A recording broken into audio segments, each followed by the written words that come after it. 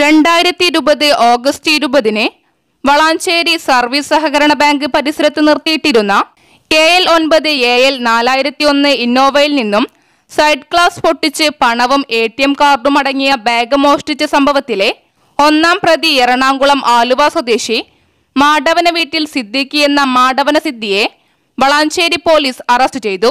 പെരിന്തൽമണ്ണ സ്റ്റേഷനിൽ സമാനമായ കേസിൽ അറസ്റ്റ് ചെയ്ത പ്രതിയെ വളാഞ്ചേരി പോലീസ് കസ്റ്റഡിയിൽ വാങ്ങുകയായിരുന്നു. എറണാകുളം ജില്ലയിലെ വിവിധ സ്റ്റേഷനുകളിലായി പ്രതിക്കെതിരെ ധാരാളം കേസുകളുണ്ടെന്നും പോലീസ് പറഞ്ഞു. Valanchery S H O N K Shaji S ഐമാരായ Muralikrishnan Iqbal probation S I Madhubalakrishnan senior civil police officer Sunil Dev C P ഒമാരായ Krishnaprasad Radhakrishnan Abdul Rasheed എന്നിവരാണ് അന്വേഷണ സംഘത്തിലുണ്ടായിരുന്നത്. News bureau Valanchery.